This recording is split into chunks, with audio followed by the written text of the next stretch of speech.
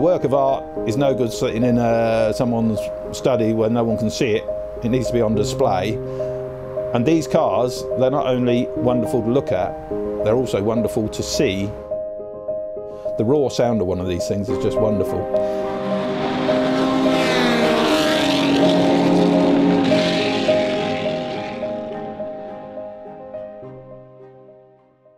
My name's Duncan Ricketts. Uh, been messing around with old cars for, I suppose, the best part of 30, don't know how many years now, for 40 years, I guess. Um, I started off as a young man. I suppose I was an apprentice when I met uh, a chap called Bill Morris. I got into uh, following Bill Morris around the race circuits, and he was into what I thought was a very exotic ERA. Never thought I'd end up racing one, but um, made myself a Riley um, was quite successful in that, quite handy on the bodywork, that was my thing. Over the years I realised that I couldn't really afford to employ people to do the mechanical stuff, so I did all mechanical stuff myself. Um, ended up making my own pistons and conrods and all kinds of things. And uh, an ERA came up. Uh, they were looking for someone to drive it. I'd been quite successful at driving, and uh, my name, I guess, went into a hat, and it came out first. So I ended up with a R1B, which was uh, a very famous ERA 1500cc ex Seaman car. Raced that for years, I think something like 12 years. Um, uh, won lots of races, got quite a few hill climb records, and some of them still stand, which is amazing. Um, and then sadly, uh, Sally Marsh, who owned the car, uh, decided to sell it. But as luck would have it for me, at exactly the same time, an ERA came on the market, an E-Type, which was in those days uh, quite well, obviously exotic, but no one knew much about them. Uh, it was in bits. I'd already made the body for it back in the 70s for the owner who sadly died. Um, so I managed to um, get enough money together, borrowing some and selling bits and pieces, uh, managed to buy this car. And then it was a two year sprint to get the thing from being a, a pile of bits to a racing car, and that was fantastic. And this car, um, which is the Challenger, uh, it was built in the same year as the E-Type, which is a bit odd. Um, almost exactly the same specification. It's um, De Dion rear end, uh, which was quite advanced in its day. Uh, it's got independent front suspension, slightly different from the E-Type. It's uh, double wishbone as opposed to Dr. Porsche.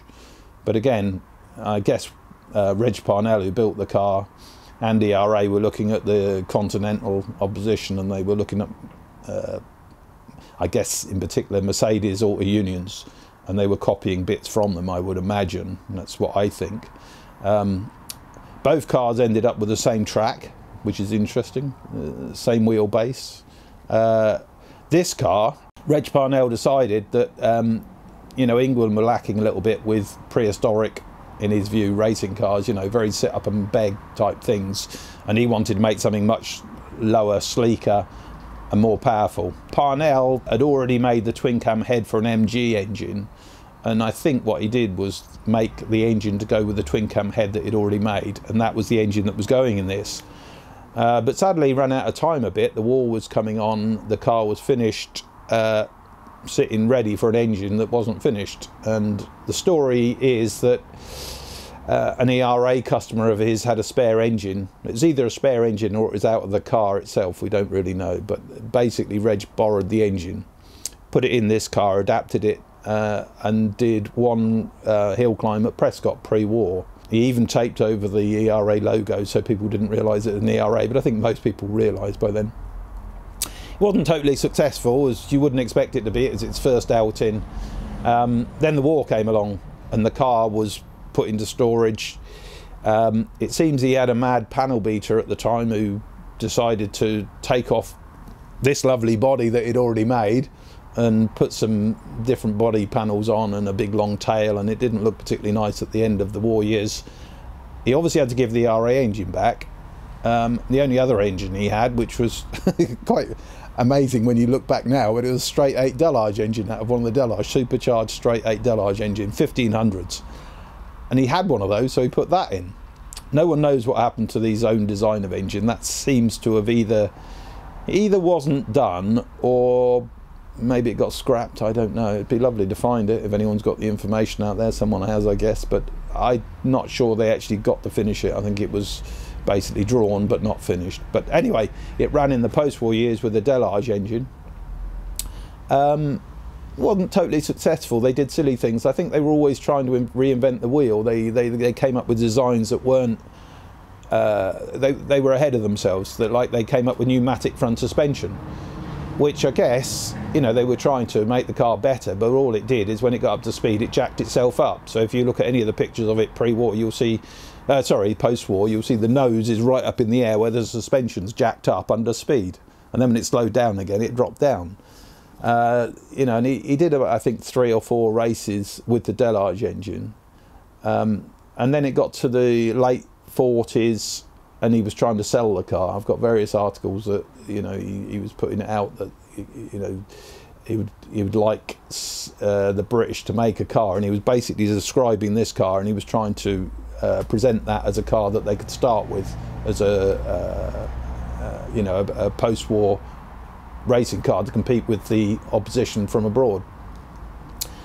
Uh, eventually, um, I'm not quite sure whether it was sold at the time, but um, a guy called Paul Emery was given the job to make it into a two-seater.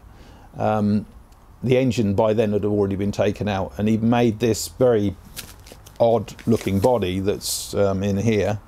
It's not particularly attractive. Uh, he finished it and it had a V12 Lagonda engine put into it um, and it disappeared off into California, sold off, and then it was lost.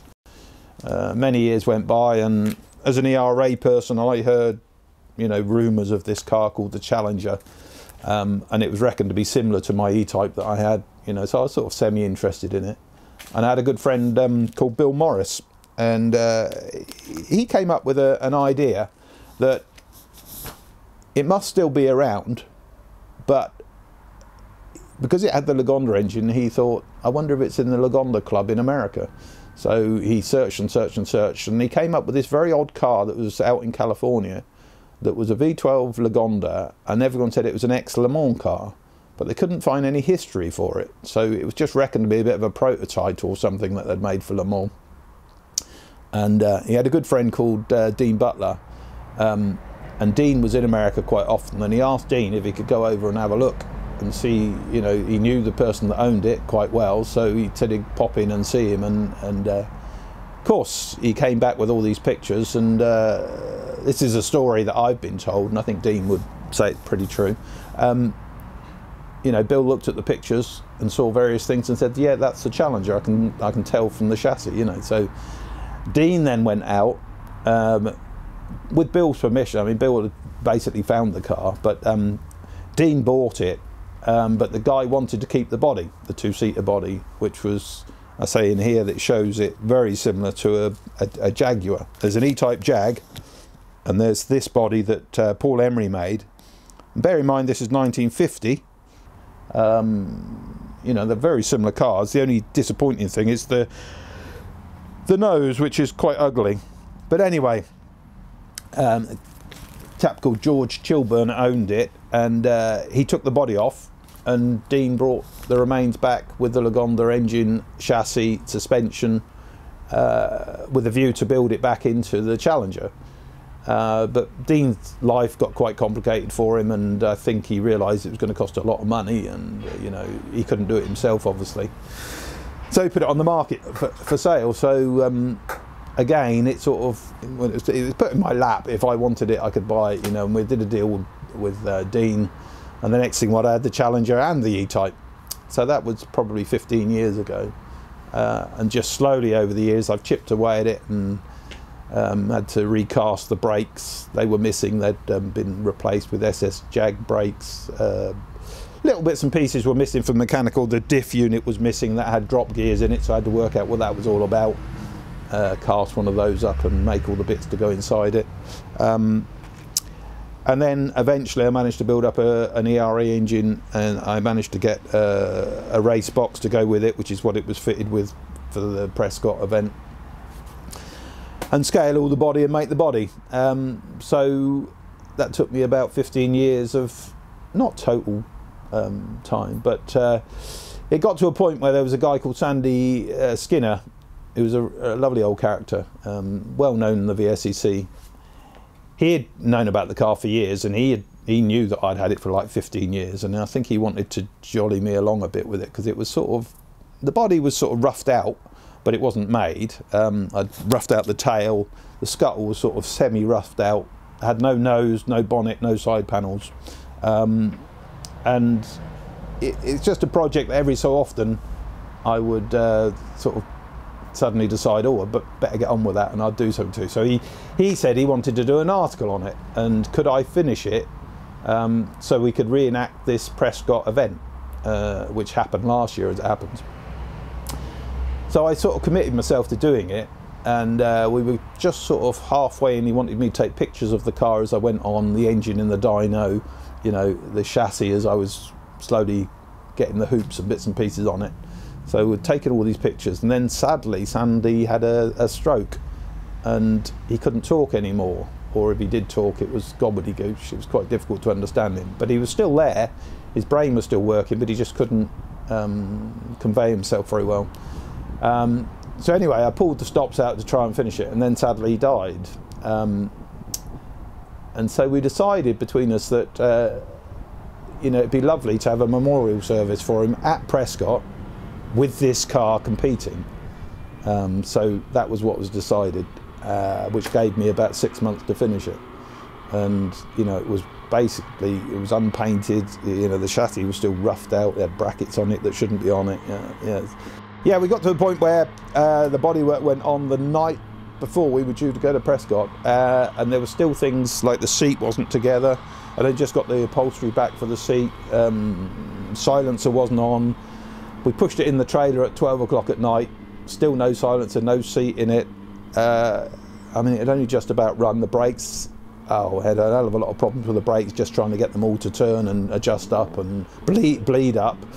And my wife did all the brake pipes on the car because I was running out of time. Anyway, we uh, we got it to Prescott first thing in the morning, pushed it out the trailer, and uh, that was the first time I'd seen it really because I'd been so flat out with the car through the summer. You just uh, you know every day it was just another job. I didn't really look at it. It was in the workshop for the first time.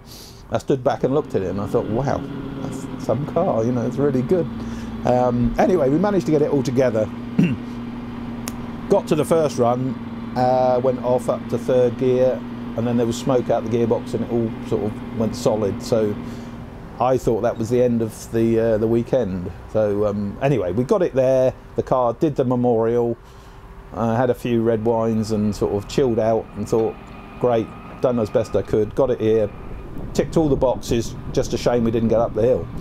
Um, and then someone said to me, a friend of mine, Tony Stevens, he said, Are you sure the gearbox is ruined? And I said, Well, I think so. Because all this smoke came out of it. And he said, Well, I've been thinking, I reckon it selected two gears, it's, it's gripped two gears. Uh, anyway, I thought, Well, might as well take the top of the gearbox off and have a look. When I took the top of the gearbox off, there were two gears stuck together. It had selected two. One of the um, adjusters had slipped off the top and gone sideways, and it had just jammed up. Now, I don't know why it did that, I never had one do that before, but anyway, with a bit of messing around and unadjusting and then readjusting up, I managed to get the thing back together. So next thing was, got it, had to go to the, um, I'd already scratched it, and that meant we had to be re-scrutineered, had to go through the re-scrutineer, and just about got it done, and then it did three good runs. So that was job done really, and then then we've sort of left it I say we, I've left it through the winter, getting on with other things, and now we've got the members meeting in about, I think it's about four weeks' time at Goodwood. So I'm busy trying to get it ready for that. You'd be surprised how many times you sit in the car in the workshop, wheels off the ground, running the engine, going through the gears, first, second, third, fourth, fourth, third, second, first. Every time it selects, you go on the track, first time you select a gear, you let the clutch out and it's not in a gear, you're in neutral. And you think, why? And it's to do with things like chassis flex. You know, the chassis just flexes a little bit and the linkage moves slightly. And so you have all those little issues to, to mess around with.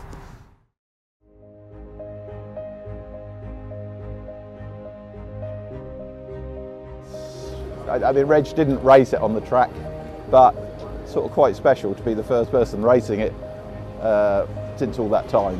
So it's quite special.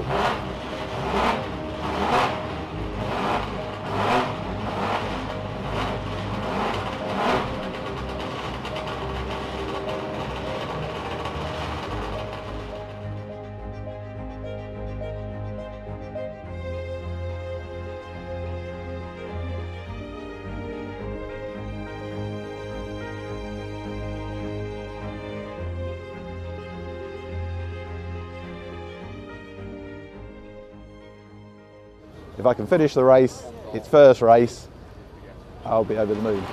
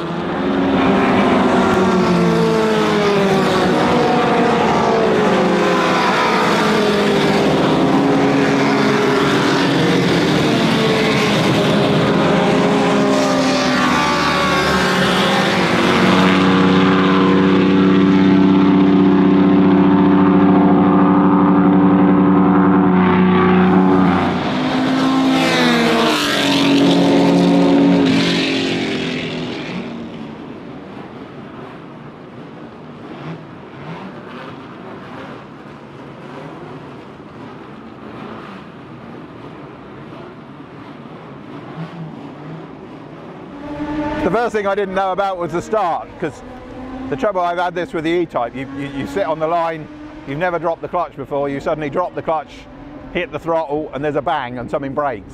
You never know if that's going to happen. So that didn't happen, it went off really well. The pack's quite tight when you go off of a 3-2 formation and you know, you've got to be very careful. I got boxed in with a few cars so I couldn't really accelerate. If I was open I'd have been past probably five or six but again, the problem is if you're in a, a car that you're not 100% confident with, you don't want to be in a load of cars that are faster than you because all that's going to happen is you're either going to slow them up or maybe you might keep up with them but you'll be on the ragged edge and I didn't want to be there. So basically the start was fine. Uh, and then I just sort of tried to build the car up and make sure that I was happy with all the turning in points and braking points and down the back straight, I was over revving it really. It went up to seven and I still had half the straight to go down, so I had to back off all the time. And then when you back off, that's another problem. You back off uh, and you sort of just feather the throttle slightly, but then you never know quite when that point is you take your foot off and hit the brake because you're like um, coasting.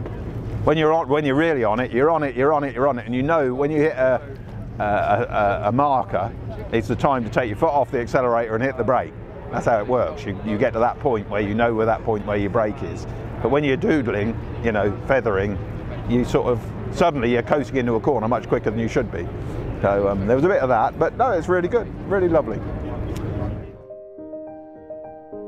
It'd be lovely to think that, you know, the young of today will follow our footprints and still be able to race these things because the reality is they are quite dangerous. There's no safety features. We have a fire extinguisher, that's about it, a crash helmet. Um, so you do have to respect the fact that they're dangerous. I mean, we do push them pretty hard. I mean, we're running, I would say 99, you know, percent, not quite 100 hopefully sometimes. Um, I always feel slightly uh, worried about youngsters that aren't used to them, but I think it's important that youngsters uh, evolve to these cars. You know, Austin 7, Riley, MG, that kind of thing, slowly building up to finally racing a single-seater supercharged car. Nothing like it really.